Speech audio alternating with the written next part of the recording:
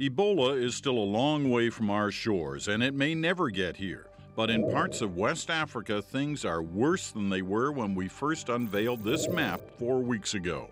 Then, Ebola was just reported in the countries painted red, with numbers in the low thousands. Here's what's happened since.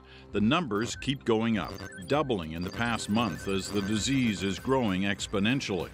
More than 9,000 cases overall now, and while the disease has slowed down or has been wiped out in Nigeria and Senegal, it's still a major problem in Guinea, Liberia, and Sierra Leone.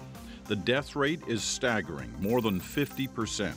But now there are cases outside West Africa too. Not many, but it does show its move. Eight in the United States, three in Spain, three in Germany, one each in France, Britain, and Norway. Of those 17, most have either recovered or are in treatment. Four have died.